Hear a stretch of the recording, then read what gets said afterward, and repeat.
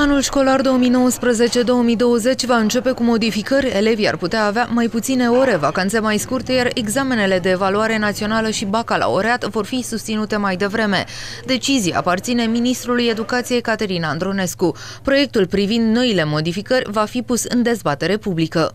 Foarte mulți părinți mi-au reproșat că au luat vacanță copiii pe 21 decembrie, au avut vacanță până în 15 ianuarie, o perioadă îngrozitor de lungă, prea mult, după care 3 săptămâni la școală și se termină semestrul. După părerea mea, vacanța aceasta este mult prea lungă sau, dacă o facem la fel de lungă, să încercăm să închidem altfel semestrul. Vacanța de iarnă ne gândim să o scurtăm și ne gândim să organizăm puțin diferit semestrele pentru clasele 1-12 a declarat Ecaterina Andronescu, ministrul educației, într-un interviu.